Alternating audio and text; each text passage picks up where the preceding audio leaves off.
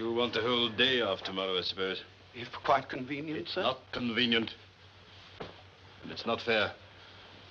If I stopped you half a crown for it, you'd think yourself ill-used, wouldn't you, hmm? But you don't think me ill-used if I pay a day's wages for no work, do you, hmm? It is only once a year, sir. It's a poor excuse for picking a man's pocket every 25th of December. I'm sure I'm very sorry, sir, to cause you such an inconvenience. It's the family more than me, sir. They put their hearts into Christmas, as it were, sir. Yes, and put their hands into my pocket, as it were, sir. Uh, I suppose you better have the whole day. But be back all the earlier next morning. I will indeed, sir. Thank you, sir. It's more than generous of you, sir. Yes, I know it is. You don't have to tell me.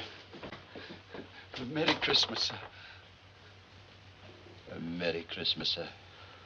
A clerk, on 15 shillings a week with a wife and a family, talking about a Merry Christmas. I'll retire to Bedlam.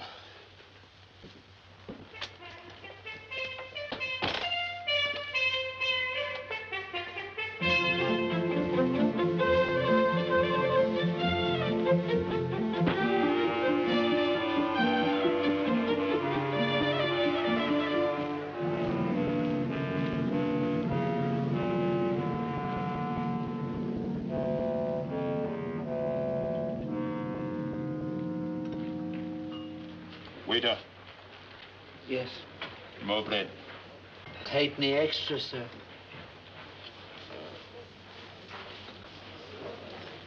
No more bread. Yes. Mm.